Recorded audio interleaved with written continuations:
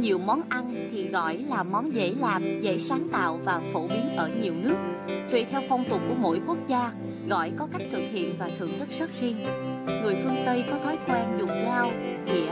Món gỏi vì thế được hình thành theo từng khối riêng biệt. Trong khi người Á Đông có truyền thống dùng đũa để ăn nên món gỏi thường có dạng sợi trộn lẫn vào nhau. Người Việt Nam thường dùng món gỏi trong các bữa ăn gia đình, tiệc cưới, hỏi họp mặt, bạn bè dưới dạng một món độc lập. Đặc biệt trong ẩm thực thành phố Hồ Chí Minh, gỏi có mặt ở khắp mọi nơi, từ nhà hàng sang trọng đến quán cốc vỉa hè, từ món gỏi cá, gỏi khô, gỏi ốc đến gỏi xoài, gỏi bưởi hay gỏi đu đủ thơm ngon hấp dẫn. Giả thân mến, khi nói đến những món gỏi ở thành phố Hồ Chí Minh thì có một món gỏi rất đơn giản nhưng lại rất ngon, được nhiều người ưa thích, đặc biệt là các bạn trẻ. Trong thành phần nguyên liệu của món gỏi này thì không thể nào thiếu những sợi đu đủ xanh vừa giòn vừa ngọt này. Có lẽ quý vị cũng đã phần nào đoán ra được món gỏi mà Quỳnh Giao đang nhắc đến rồi phải không? Còn biết kết quả có chính xác hay không thì bây giờ chúng ta sẽ cùng xem những nguyên liệu tiếp theo nhé.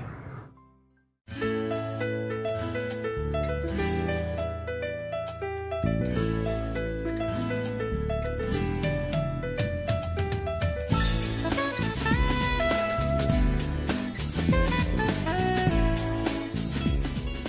sợi đu đủ này đã vừa được bào xong, bây giờ chúng ta chỉ cần ngâm sơ qua với đá là có thể sử dụng được.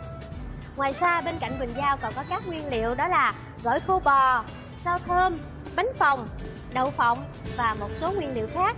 Tất cả sẽ làm nên món gỏi khô bò thơm ngon và hấp dẫn.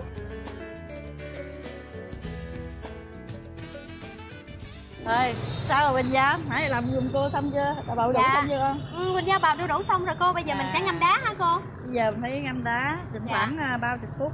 Dạ. 30 phút thì có độ giòn thì mới mới dùng. Cô ơi, Quỳnh Giao thấy là cái món gỏi đu đủ này á, nó rất là đơn giản mà nguyên liệu cũng khá là phổ biến.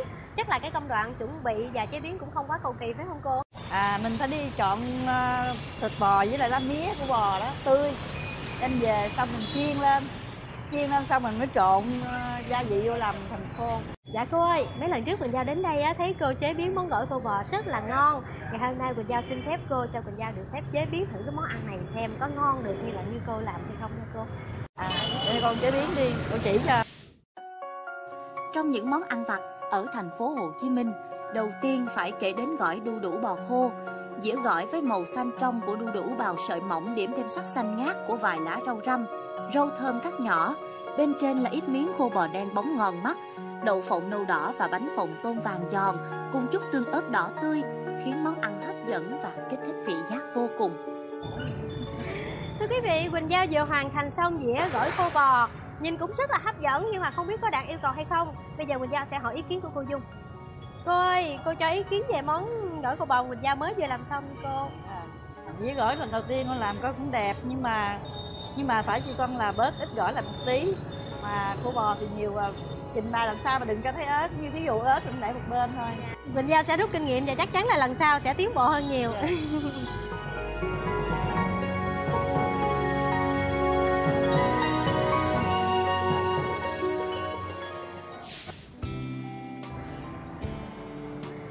là hấp dẫn phải không thưa quý vị?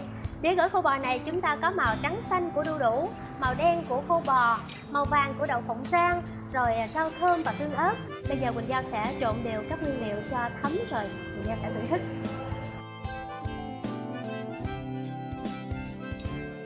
Vừa nhẹ nhàng không ngấy vừa đủ để ăn xong một dĩa còn thòm thèm Khiến gỏi khô bò trở thành thứ quà thân thiết của nhiều người Trở thành món ăn được các bạn trẻ đưa vào danh sách Các món ăn vặt không thể không ăn Khi dạo quanh các món gọi ở thành phố Hồ Chí Minh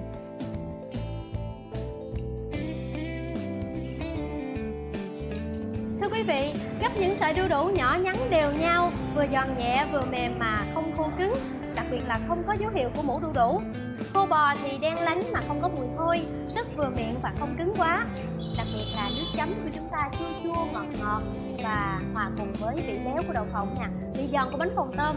Giao đã ăn gần hết một đĩa rồi mà bây giờ vẫn còn cảm thấy rất là thèm. Một trong những điểm thú vị khi thưởng thức gỏi khô bò chính là không phải chờ đợi Chỉ chừng dăm ba phút sau khi gọi món là đã có ngay và mình rất là thích cái món gỏi cua bò này bởi vì à, hồi hay đi học thì mình hay à, hay, hay ăn nó. Và quê của mình ở Đà Lạt ờ, cái món gỏi cua bò này nó còn à, trên quê mình còn hay gọi là sắp sắp. Và ờ, cái mình thích nó bởi vì à, cái hương vị gỏi à, của gỏi đu đủ rất là giòn tan trong miệng. Và cái hương vị của ờ, khô bò thì là thơm thơm làm cho mình cảm thấy rất là thích rất là hài lòng.